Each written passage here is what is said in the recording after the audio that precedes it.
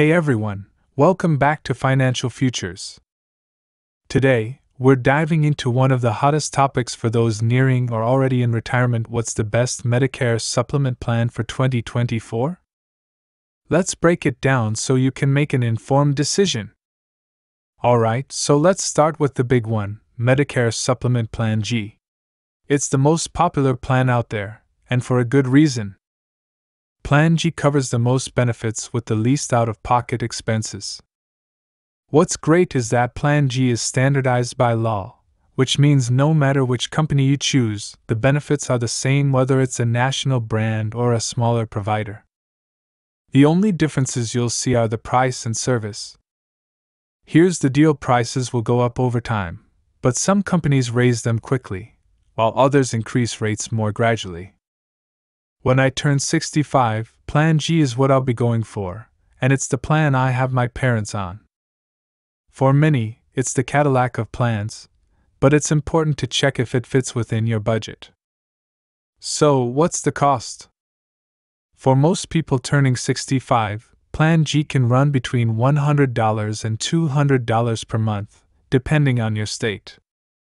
That's a solid value considering it covers almost everything after a small deductible currently under $300. What's awesome about Plan G is that you're not restricted by a network. You can see any doctor or visit any hospital nationwide, as long as they accept Medicare, which is practically all of them. Unlike Medicare Advantage, you won't have to worry about your doctor being in network or losing access to a hospital because of provider negotiations. This is why we call it the Cadillac plan. It offers flexibility and peace of mind. But if you're looking to save on monthly premiums, there's the high deductible Plan G. With this option, you pay the first $2,800 in healthcare costs before the plan kicks in. The trade off?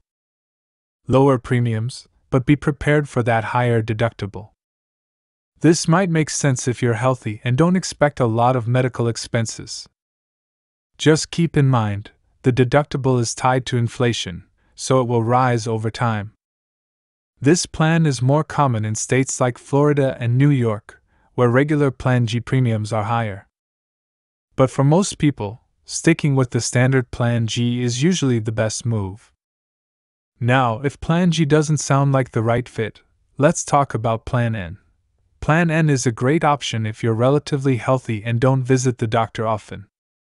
The monthly premiums are lower than Plan G, but there's a $20 co-pay for each doctor visit, and you may also be responsible for a few other out of pocket costs. Plan N doesn't rise in cost as quickly because fewer people choose it, but keep in mind that if your health changes, those $20 co-pays can add up. So, if you're seeing the doctor a lot, Plan G might be a better long term bet. Choosing between Plan G and Plan N really depends on your healthcare needs and budget. And remember, when you first sign up for Medicare, you can't be turned down for any plan due to pre existing conditions. But after that initial window, if you want to switch plans, you'll have to answer health questions, which could make it harder to change. This is why it's crucial to pick a plan that not only fits your needs now but also gives you peace of mind for the future. A bigger insurance company may offer more stability, while smaller ones could have higher rate increases. It's all about finding that sweet spot. One thing many people don't realize is that you can switch Medicare supplement plans at any time during the year, not just during the annual election period for Medicare Advantage and Part D plans. So, if your rates have gone up or you're not happy with your current plan, now might be a good time to shop around. It's always better to make changes while you're healthy, so you can qualify for a new plan without any issues. If you still have questions or want help finding the best Medicare supplement plan for you, head over to comment section.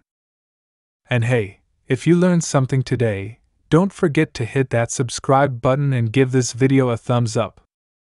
We put out new content every week to keep you informed and up to date. And drop a comment if you have any questions. Thanks for watching, and we'll see you next time on Financial Futures.